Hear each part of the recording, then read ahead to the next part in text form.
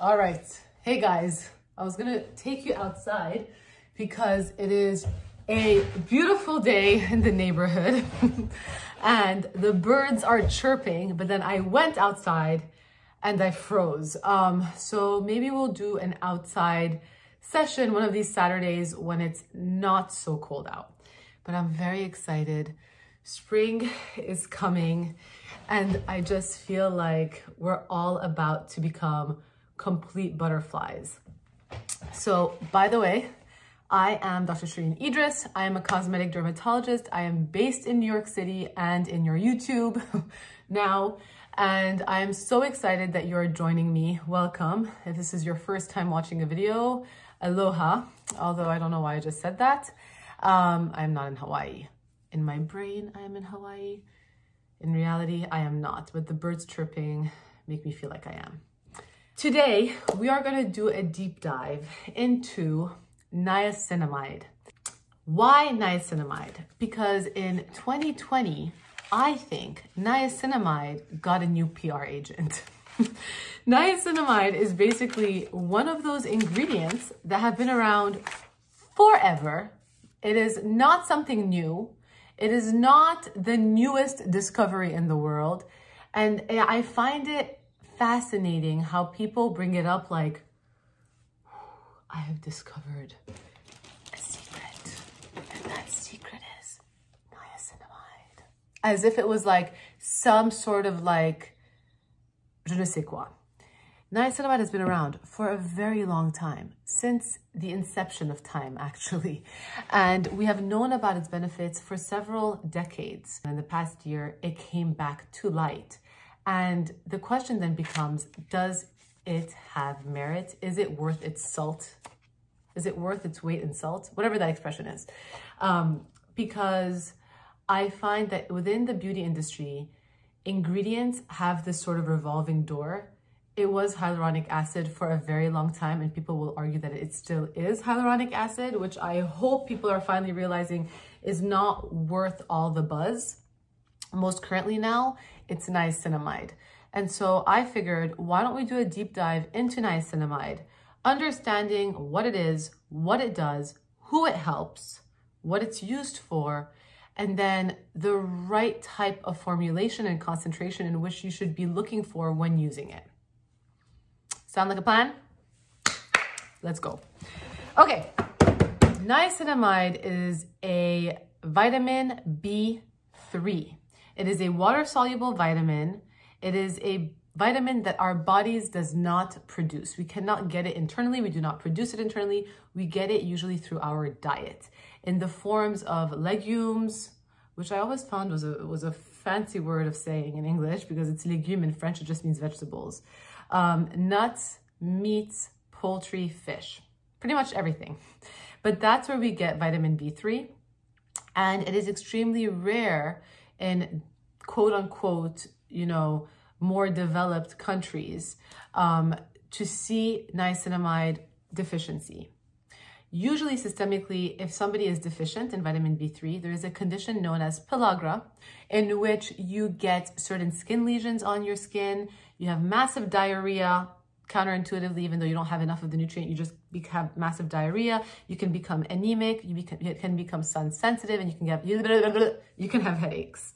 Um, and so the treatment of pellagra is to take niacin pills, also known as nicotinic acid. But the issue is it causes intense flushing. You will look like a tomato, complete tomato. It's a cousin, it's a sibling, it's twin, whatever you want to call it, it is niacinamide, which is also known as nicotinamide. So you have niacin, which is nicotinic acid. Then you have niacinamide, which is nicotinamide. Okay, so let us focus on niacinamide because in topical skincare, that is what we find nowadays. And that is who hired the most expensive publicist in the beauty industry because it is everywhere these days. Um, so with niacinamide, the beauty is you do not get any flushing. So that's great. Um, if you take it orally, you can definitely treat pellagra without that nasty side effect. Now, topically, it can do many different things. So yes, it is worth its hype to a certain extent. And why do I say to a certain extent? Because everybody always likes to believe that once you have a good thing, more is more is more is more is more. I don't know about you, but if I've eaten, and this has happened, a vat of Nutella, which in my mind is a very yummy, good thing, not a good thing technically for the planet or for your body, but a good thing for your brain, I die afterwards. I get comatose, I feel lethargic, I feel like S-H-I-T. Same goes with niacinamide. The higher the percentage doesn't necessarily mean the better it is. So what are the benefits of niacinamide? Number one, increase your skin's immunity. How does it help to increase your skin's immunity? By increasing keratin production and then keeping the skin layer intact and protective. Your skin is your largest organ. When your skin is broken up, whether microscopically or macroscopically, meaning like an open wound, you're more likely to get infections, cuts, nicks, eczema flare-ups, etc. So by keeping the skin intact and well connected, you're more likely to increase your skin's immunity function to better protect you. So that's number one. Number two, it helps with the lipid barrier of your skin, meaning it increases ceramide productions. And ceramide, if you want to think of it, is like the cement holding the bricks together. So if the bricks are your skin cells, Ceramide is the cement that is gluing all those bricks together in order to really keep it nice and firm and supple and moist.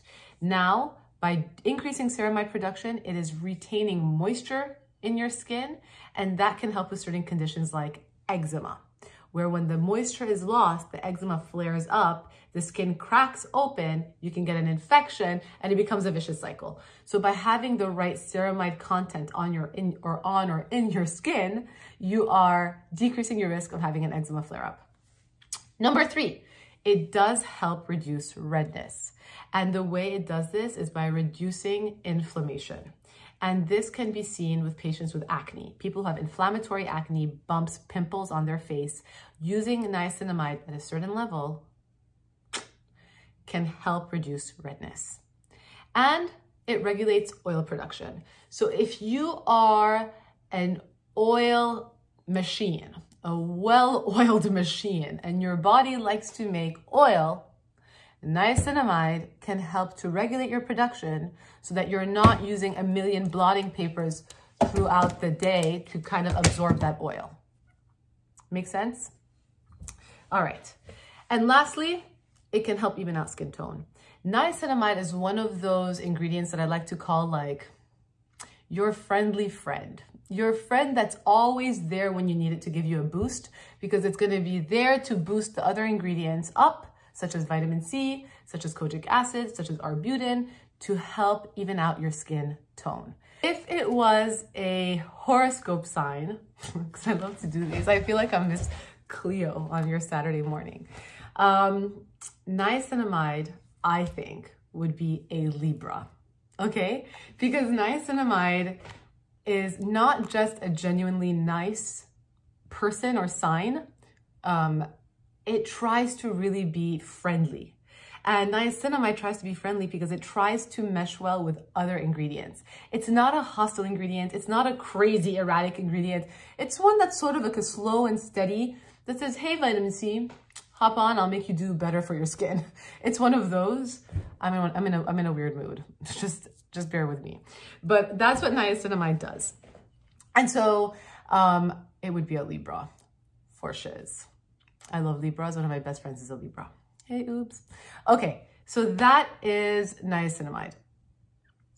Is there proof? Yes, there is proof. There are various studies that have been done throughout the years. Um, there was one in the International Journal of Dermatology in 2013. There was another one in 1995. Those are just two double-blinded studies, which are usually the best kind of studies, where people don't have any bias errors, usually for the most part, where they showed that 4% niacinamide twice a day was equal to topical antibiotics, clindamycin, and that 2% niacinamide did on its own decrease oil production. So this gets me to my earlier point in which more is not more. More is not more. For the people in the back, one more time. More is not more. More is not more. More is not more. More is not more. I find it mind blowing where people now think they're all chemists and that they all have a very deep understanding of a very, very complicated matter that requires years of years of studying and a PhD involved to be like, oh, that is a 22% niacinamide formulation, so therefore it must be really good. No, no, no, no. 22% is going to make your face blow the F up. And in the process, I think people and patients have been trying to put so much on their face at higher levels of concentration, causing their face to just blow. And this is where I have issues with certain brands that are ingredient driven they highlight the ingredient rather than act like a chef to formulate the various ingredients into a beautiful recipe. Um, making the consumer, i.e. you and me, believe that more is better because it's not. Anything above 5% in general is probably overkill. And I have seen it now more often than not where higher levels of niacinamide can cause inflammation, irritation, and breakouts. All of the things that it wants to actually treat. And so the poison is really in the dosage. You have to be careful about how much you're actually using. So don't automatically think that a higher number means that it's better.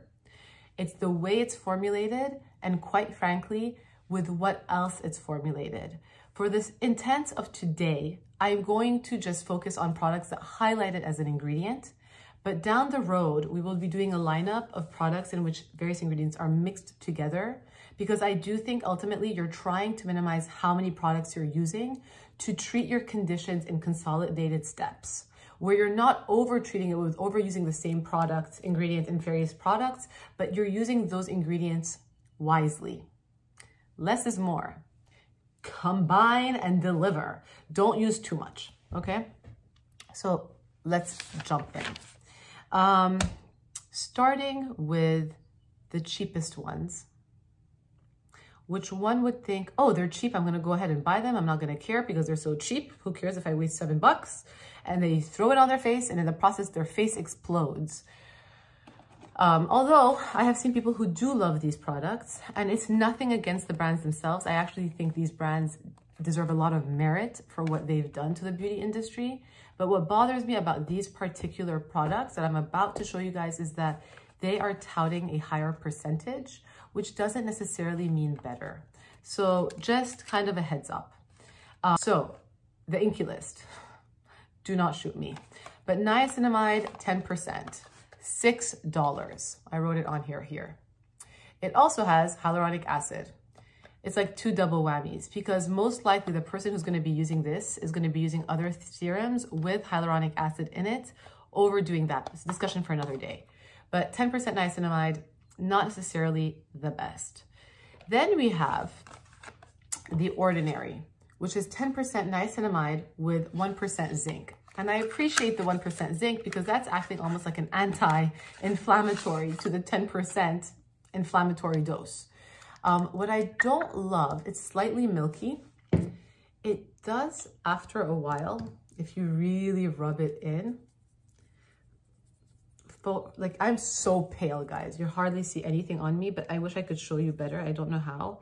It forms like this kind of whitish film and it just feels tacky. So it's not my favorite one. Again, high strength vitamin. Okay, yes, it's high strength, but does it make it better? No. Better, higher, does not, are not synonyms. So that's number two.